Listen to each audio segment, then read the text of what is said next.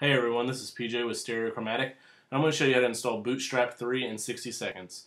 First, you want to go to getbootstrap.com and download the Bootstrap files. Once you unpack that, you'll have two directories here. You'll have a CSS folder and a JS folder. What you're going to want to do is copy those two folders over somewhere on a web server or on a local server. And I, am going to do it on my server here, and I'm going to put it in a subdirectory called Bootstrap. So I'll move those two folders over. Next, I'm going to go to examples.getbootstrap.com and get the uh, starter files.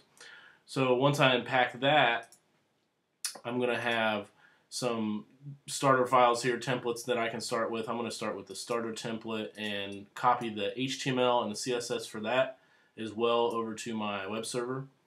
And then now I just go to the URL slash bootstrap and there it is, Bootstrap in 60 seconds.